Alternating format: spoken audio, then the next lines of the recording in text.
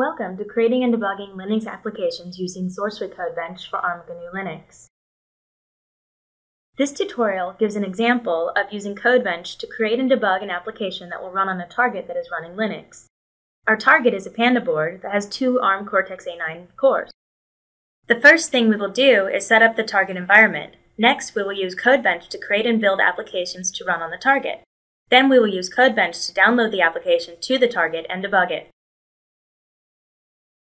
In order to download applications to a target and debug them over the network on a target that is running Linux, you must boot Linux on the target and assign an IP address to the network interface.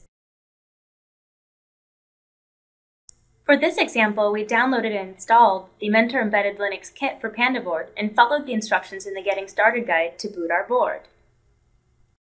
To reproduce this environment, go to www.mentor.com slash embedded software slash download slash Linux kits and download the PandaBoard Linux kit. Then follow the instructions in the PandaBoard installation and quick start guide. From the website, first select the PandaBoard Linux kit and download it.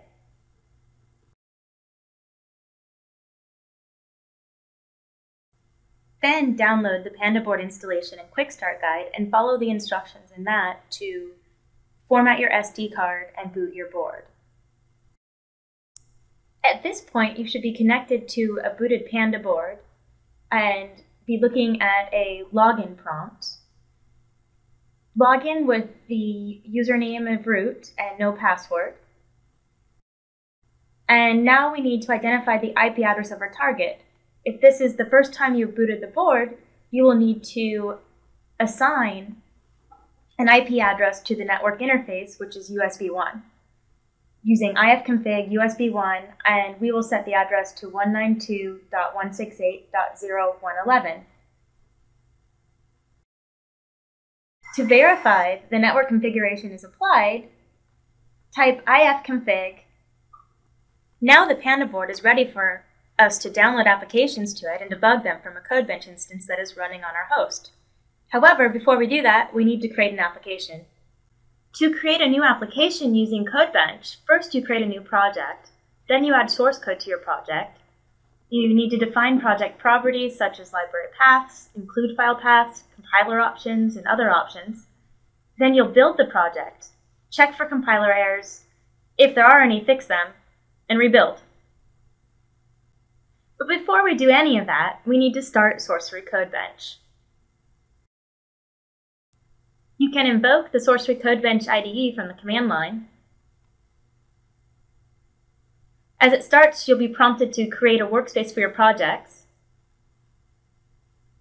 And then it opens to the welcome screen. Close the welcome screen to view the C, C++ perspective where we will create an application. The first step to creating an application is creating a new project. To create a new project, select File, New, C Project. This opens the C Project wizard. Give your project a name.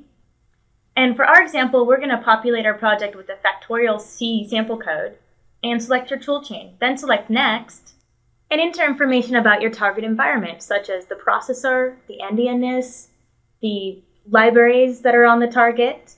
For our example, all we're going to do is set our processor to the Cortex a9.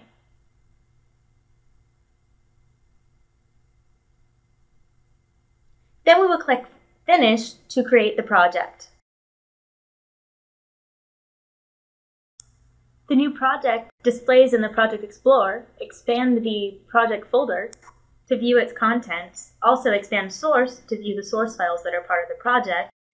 To configure compiler options, library paths, include file paths, right-click on the project and select Properties.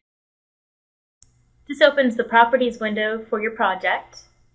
Expand C, C++ build and select Settings. The Tools Settings tab displays and the Target options display on the screen. You can change things like processor, endianness, uh, your, the where your sysroot is located on your target from here. Select Sourcery CodeBench C compiler to modify compiler options. Select Includes to specify paths to include files and other options. Click the plus symbol to add paths to include files. Select Libraries to add library search paths and linked libraries to the project. Click OK to apply your changes and close the Properties dialog box. To compile your code, right-click the project and select Build Project. This builds the code, and if any errors occur, displays them in the Problems window. Since our project was configured properly, we do not have any errors. Now we are ready to download our application to the Panda board and debug it. Before we can debug, we need to configure our debugger settings. Select Run Debug Configurations. This opens the Debug Configurations dialog box. You're going to want to select the Source Sourcery CodeBench Debug option and double-click to create a new debug configuration for your project. If the project was selected in the Project Explorer when you opened this dialog box, the C, C++ application and project name are filled in for you automatically. Select Copy and Launch Application on Remote System to have CodeBench automatically copy your application to the target using SSH and launch it when you start your debug session. Click New to configure a new SSH connection to the target. In the host name field, enter the IP address for the target. You can modify the connection name so that it's set to something that is unique for your target, such as PandaBoard. Give the connection a description and click Finish. In our example, we click Cancel because this connection has already been created. Make sure your connection is selected Next, click the Debugger tab.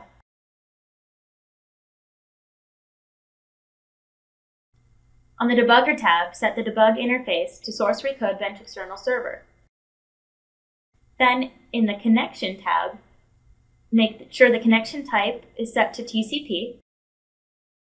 Then enter the IP address of the target in the hostname or IP address field, and verify that the remote GDB server path is set to the location of GDB server on the target. Now we are ready to debug. Click Debug to download the application to the target and kick off a new debug session.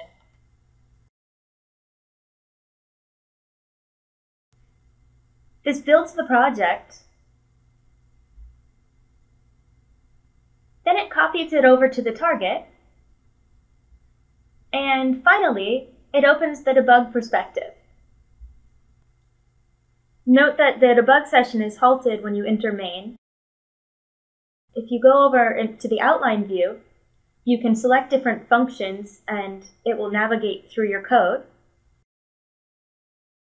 You can select variables and change the value of variables.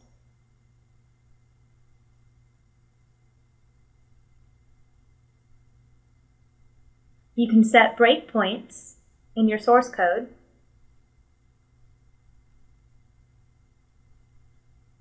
And you can run your code to the next breakpoint.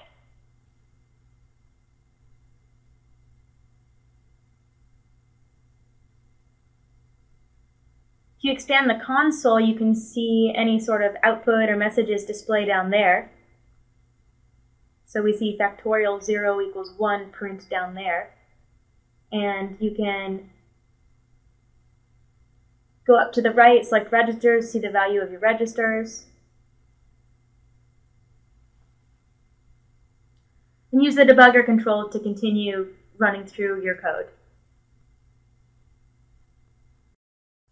In summary, in order to create and debug applications for a target that is running Linux, you need to set up the target such that it is running Linux and you can communicate with it from the host.